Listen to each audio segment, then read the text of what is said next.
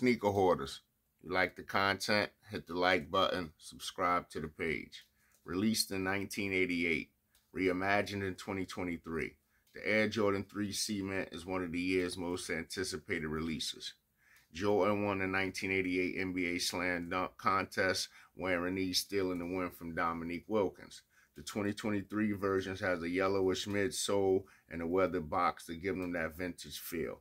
The Nike Air logo on the back really brings back that retro feeling of the original Air Jordan 3s. Sneaker hoarders.